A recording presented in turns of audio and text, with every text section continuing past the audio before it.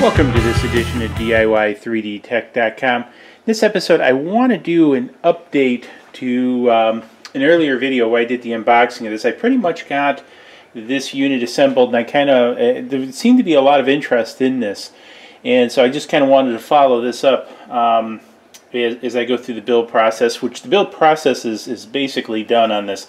So one of the things I've done, as I mentioned before is I designed these manifolds, uh, basically funnels to go on here and here to adapt um, the inlet and output of, uh, of, this fan system. So this is, uh, as you might recall from the unboxing video, one horsepower fan that I'm setting up for fume extraction for my lasers. And actually I was a little bit nervous that I had um, purchased maybe too big and maybe it is a little bit big if you have one. But I, mean, actually, I have a couple laser printers, and I've decided actually to plumb this in a way where I can actually support multiple, uh, I keep calling them laser printers, laser cutters. So I've actually multiple laser cutters. And so um, this has actually turned out a little bit more interesting than I thought. So a couple of the things that I thought was were interesting. So I printed this funnel, and, and really this came out pretty good. There's a couple aberrations here where it got to the very top. Uh, and I printed this rather thin, uh, 0.8 with like 15% infill. Uh, so I could get this ramp. And this ramp is actually only about 40 or 50 degrees. It's under 60 degrees. This one down here is up around 60 degrees and it printed very nice. And it actually didn't start sagging until the very top here. So I was, I was impressed. And I printed these on the Wanhao. And you'll see up in the corner I'll put some um, time lapses of these being printed and everything. Uh, so it came out very well. The other thing I did is um, I printed these very, very tight to the um, specifications of both openings. And then what I did is I took a heat gun, warmed it up. This is PLA and press fitted it on there. Then what I did is I took uh, XTC 3D and I coated them to make them very hard and durable. This is one of the reasons I didn't concern myself um, with a big infill on these because I knew I was going to be either coating this with X, coating these with XTC or epoxy. Uh, so this came out very well, made for a very, uh, these, these are not glued on and they're very tight because between the XTC and the, uh, the fit, I did nick it, uh, I decided, um, I had a little bit of lifting on this and I, I, figured I'd get smart and put it on the lathe and turn it. That did not work well. So I had a little nick here, but that that's fine. That's the only reason have this. The other thing I did is I printed uh, out of TPU vibration pads for this to sit on and then um, use quarter 20 bolts with fender washers to come up here and, and, hold this in place. This actually works very, very nice for noise. I've noticed that, um, uh, again, doing this, the whole noise thing, and once, once I get this set up, I'll actually run it for you and show you in another video. But the noise on this is really reduced with these baffles, baffling this down.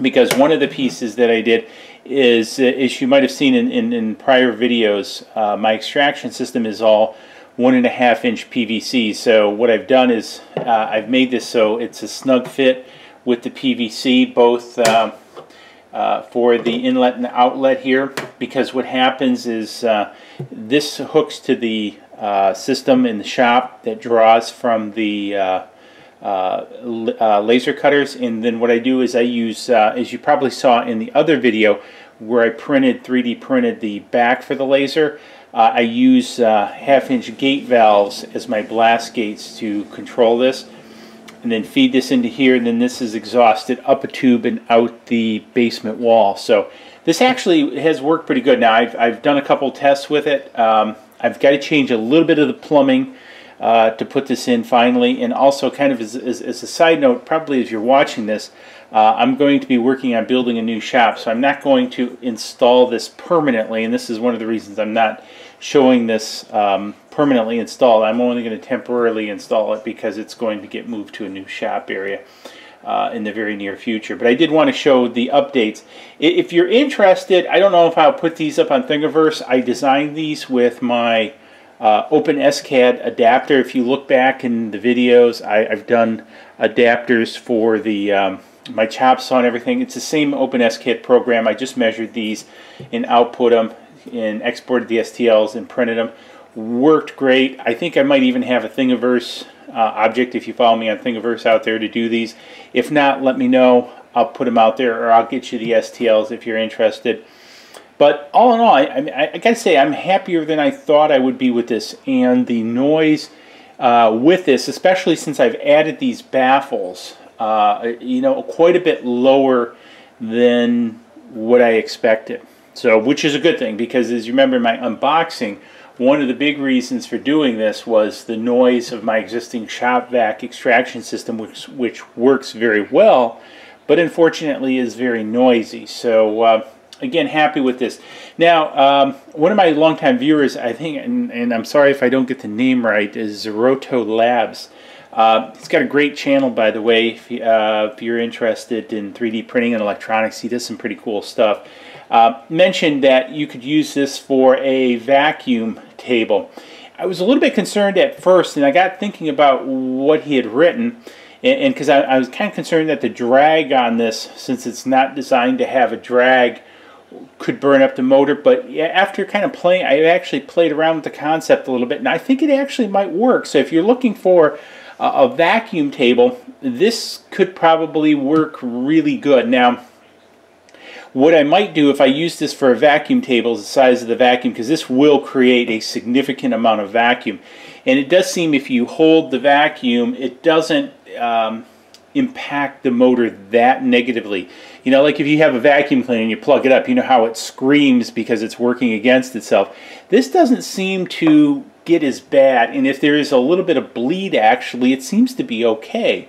So I think you could, I think to his point, you could probably actually use this for a vacuum table. And, and actually, this is sort of what I'm thinking a little bit of doing in the new shop is actually just having vacuum ports because one of the things I want to build in, uh, I think I've mentioned in prior videos, I'm going to have air dropped in, I'm going to have dust collection dropped in, and I think I'm going to do a vacuum line as well as potentially a water line because a lot of the equipment I'm getting is... Um, now water cooled. So I've got the two laser cutters which are water cooled. I now have a CNC which is water cooled. And I'm actually kicking around the idea of converting some of my printers to actually being water cooled. So I'm thinking about putting in um, a, a, refrigeration system inside the shop for my water cooled devices. Um, so anyways, um, again back to this, I think having a, a dust port or sorry, a vacuum port would be interesting for different vacuum tables because one of the other things I've always been interested in, in messing around with is vacuum forming. I think this would be great for vacuum forming um, because for the, the period of the vacuum form, uh, there would be no issues, I don't think, with this. I would be, I'd be highly surprised because I've, I've held my hand on here for a couple minutes, again, trying to play around with uh, his, his Rotos concept of um, uh, you know, using this as a vacuum device, and, and I saw no issues. And again, it really, because of the, the draw, I mean, you have this big area here. Now, what I would probably do, and, and you guys can comment below if you think I'm wrong or you do it differently, I would probably see about um, porting, you know, so I've got an inch and a half here. I might go a little bit bigger to a vacuum table, maybe like two inches, because there is a bit of attenuation of this funnel. And the other thing I may experiment with in the future, especially as changing shops, um, I didn't want to have a real long taper on the funnel like I do here.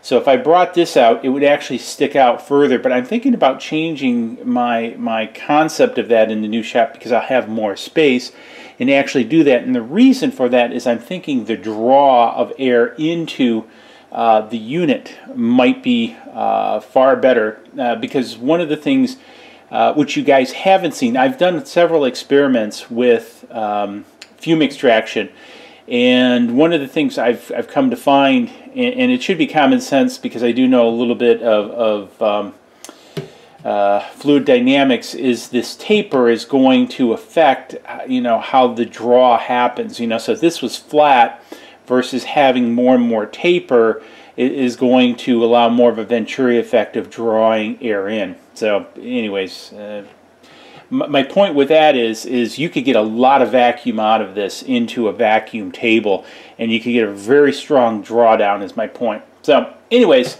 just wanted to kind of update you guys with where I'm at with this, and, and basically the plumbing is simple. Uh, as you saw, I'm just for right now going to duct this, as you saw in the last video, into my existing one and a half inch system and just duct this outside in, in, in the existing piping, so no magic there. But I did want to show you these pieces uh, because I think they all go together to show you um, if you get one of these, how you would turn it into a fume extraction system, or even, as Rotor Labs mentioned, a vacuum table system. So um, again, very happy with this. Uh, I also do probably something when I do set it up and I get some time because unfortunately I got to do a lot of traveling for business right now, is use my dB meter to measure the noise of this versus the shop vac, but this is far, far quieter. So anyways, if you found this interesting, give her a thumbs up, subscribe, and we'll see you in the next video. Cheers. Click like below and subscribe to the channel to keep up to date on all of our projects.